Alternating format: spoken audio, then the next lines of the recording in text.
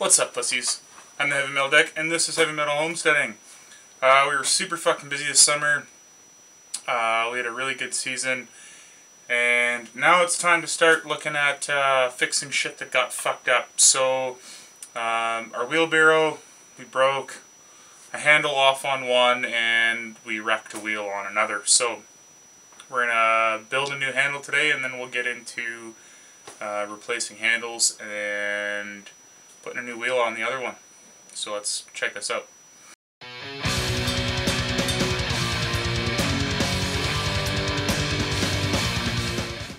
Okay, so here we have an old wheelbarrow handle.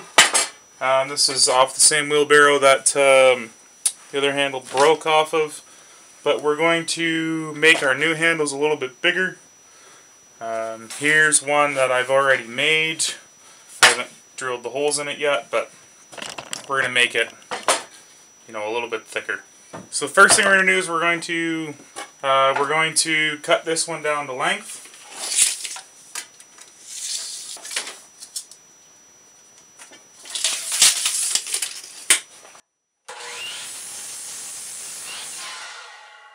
And we're going to make sure we hold on to that offcut because we're going to need um, some wedges later on.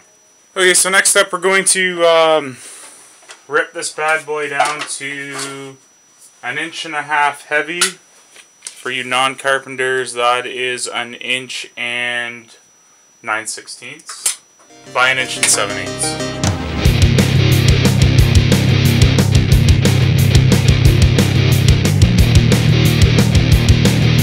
Usually I like to pull the second half of the cut, but I just can't fucking get around the table saw in this tiny little shop I have, so we just deal with it the dangerous way.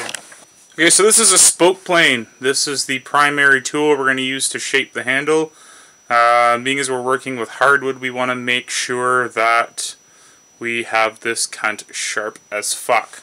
So we're just going to give this a quick buzz on the grinder here.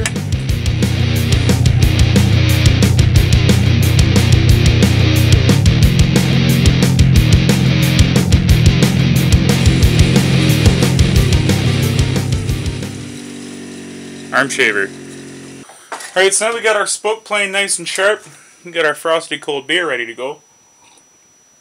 I'm going to go ahead and mark where the end of the handle is going to end up. Right about there. And we're just going to freehand this from there.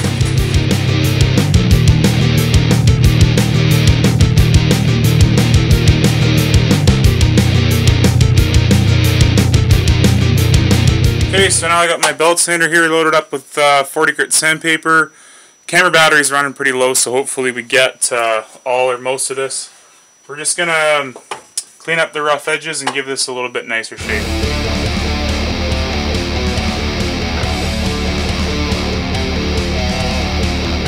Alright, so now that we've got the camera battery fucking charged up and chooching again, it's time to um, hand sand these to a nice finish.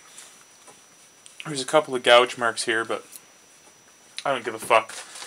So here I've got fucking huge pile of sandpaper.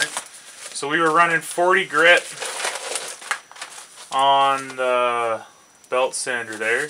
So here's some 80, uh, some 220, and some 150. So we're just going to try and get these nice and smooth um, so that they're nice to hold on to.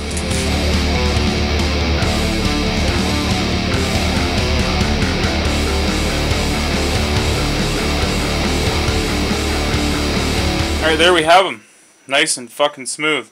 They're not perfectly the same size, but it's just a tool to get the fucking job done.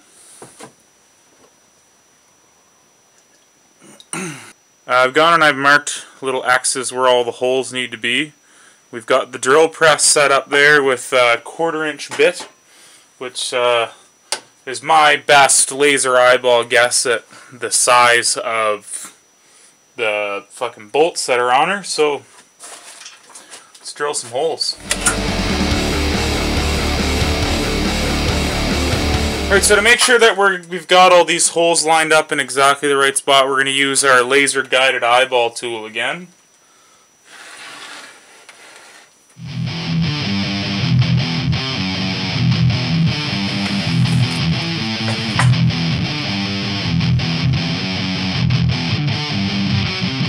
Alright, so now these are totally fucking screwed. I mean, drilled. Holes drilled. They're not screwed. They're in perfect condition. Um, we're going to hit them with uh, some sort of exterior clear coat, something just to protect them from the elements. This thing's going to live outside for the majority of its life. I'm going to go see what the fuck I've got. Alright, so I've ruffled around and uh, I found some new and improved cherry flavor uh, gel stain from Varathane, which is an interior exterior product. Uh, the only exterior shit I've got lying around right now. So, let's get into it and hope it isn't fucking dickered. I've never actually used a gel stain before.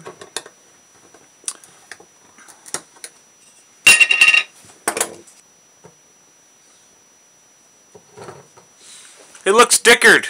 We're gonna fucking use it anyways. I'm gonna go put some gloves on. Now surely you're asking yourself, heavy, or you're fucking yelling at your computer, one or the other. Heavy, you're pretty sure that this stain's dickered. Why are you gonna go ahead and use it anyways? Well folks, there's two reasons for that. Number one, I've never used a gel stain before, so I have no idea if it's actually fucking hoopajooped or not. So I'm just gonna throw it on there and see what happens. Second reason, I'm cheap as fuck broke as hell.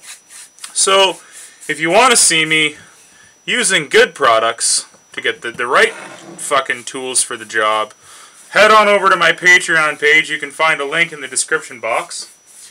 And send me some money so you don't have to sit by your computer and watch me painfully use stain that's probably fucked.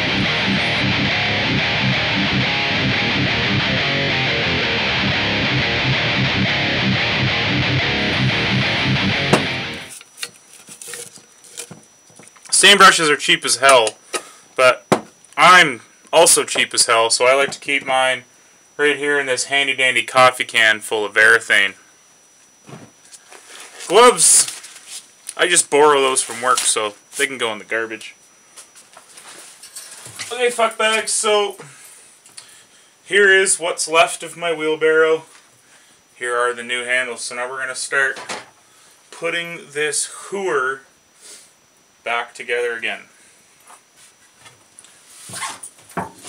Um, when I took this apart, I kept all the bolts in place so I didn't fucking get lost and confused when it came time for reassemblage.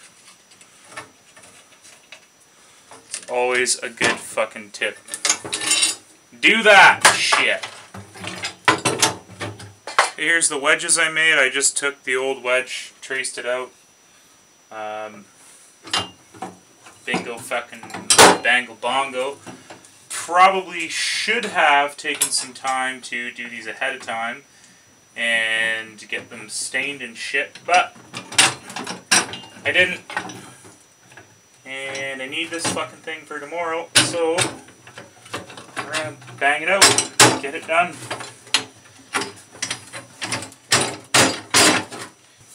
If at first it doesn't fit, get a bigger hammer.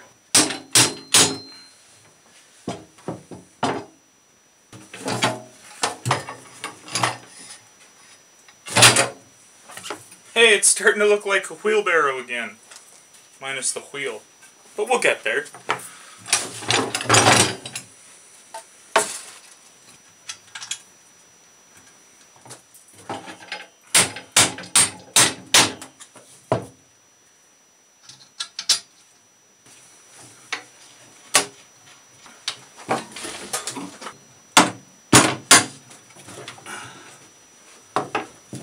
There's that bigger hammer trick coming in handy again.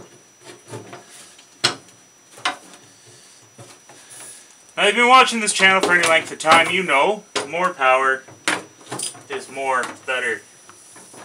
Well, I use hand ratchets and shit when we have pneumatic tools.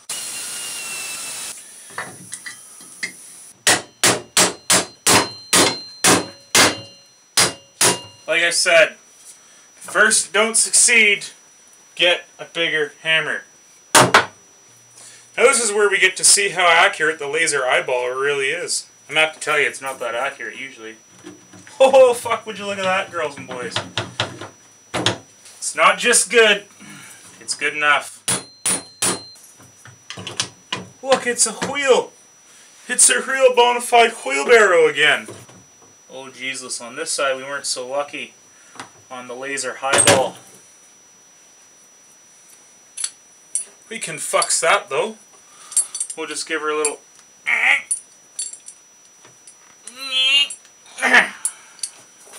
Give that a couple or three percussive adjustments. Alright, and that is as they say in Germany, gut genug. Alright, now we just gotta get everything torqued to proper spec.